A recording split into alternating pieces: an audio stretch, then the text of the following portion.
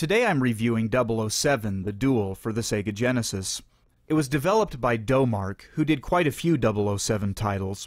The Duel, their final Bond game, was published in 1993 for the Genesis, Master System, and Game Gear. So here's the premise. An insane criminal mastermind named Professor Gravemar has seized control of a top secret satellite launch center on an unnamed Caribbean island. His plan is to send weapon satellites into orbit and take over the world. While he readies the satellites to launch, he's posted armed guards all over the island, and he's taken a bunch of blonde women hostage to use as human shields.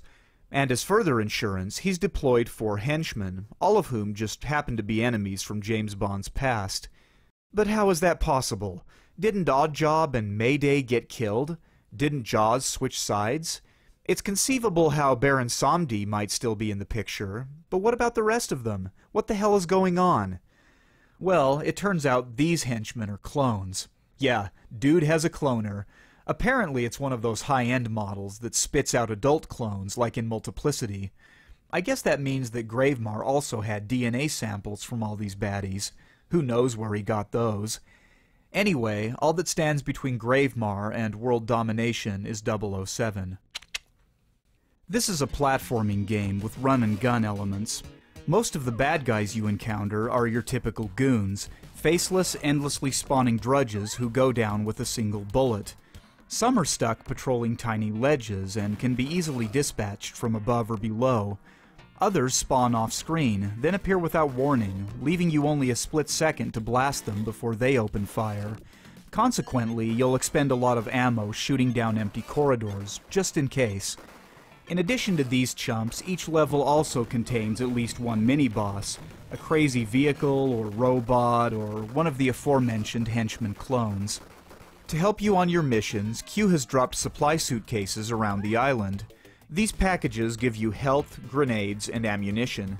It's also important to collect ammo from fallen enemies, since you have to waste so many bullets shooting off screen. Fortunately, enemies drop clips whenever you're running low. Just make sure you're quick about picking them up, because they explode if they're not collected within a few seconds. I'm guessing those aren't standard issue NATO rounds. The missions all share the same basic parameters. You have to rescue the hostages, dispatching any enemies you encounter along the way. Then you find the bomb hidden in the stage, arm it, and get the hell out of there before the place blows sky high. Typically when you die, you get to keep all of your progress to that point, so any items you've found remain in your inventory, and any hostages you've saved stay saved. But if the bomb detonates before you escape, you'll not only lose a life, but all of your progress on that mission. You'll have to start that level over from scratch. Knowing this makes some of the escape sequences pretty hair-raising. You get five lives and one continue, and then it's game over. That may sound a bit stingy, but this is not a long game.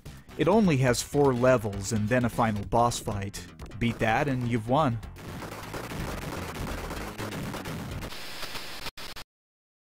The visuals are solid. Bond looks good in his trademark tux, and he's pretty well animated.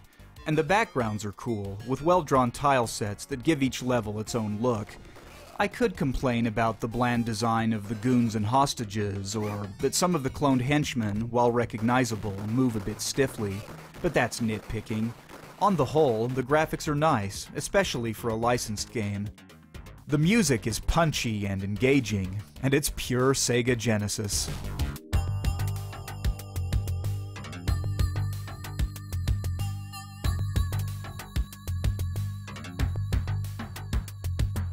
I like the sound effects too, especially the retort of your Walther PPK.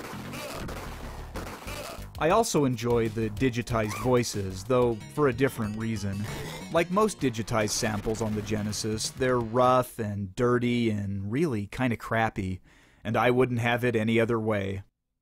The controls, unfortunately, are a bit off. It's hard to explain, but they're a tiny bit sluggish and yet also a little twitchy and overly sensitive. Sometimes they don't respond as readily as they should, and other times they respond too much. You notice this especially when you have to jump onto a small ledge or inch up to the very edge of a platform. The gunplay also has its problems. Firing straight shots is simple enough, but the game also lets you shoot along diagonals, and the way that's implemented is a little clunky. You have to hold up or down on the D-pad, but the down button also lets you duck. The result? Sometimes you duck when you're trying to shoot down. One other feature of the combat is a cover system that lets you sidestep into alcoves to dodge bullets. It reminds me of Blackthorn, which utilizes a similar mechanic. But in Blackthorn, you can shrink back into the shadows almost anywhere, whereas in the duel, you can only duck into certain niches. And in Blackthorn, ducking into cover is a useful and essential part of the game. In the duel, it's more of a gimmick. For one thing, it's rare to come across one of these recesses when you actually need it. And this is one of those cases where the animators did their job too well. They created a nice fluid motion, and it looks damn cool, but all of those extra frames make it take too long to be responsive. It's a shame, too, because, handled well, this could have added something to the gameplay. Most of the levels are big and sprawling and require some memorization, which I didn't mind. If you enjoy games like Metroid and Prince of Persia, where you do a lot of exploring, this catches a bit of that same vibe. One annoyance, though, is that on some levels you spend an ungodly amount of time just waiting for elevators. I usually kept busy by working on my dance moves.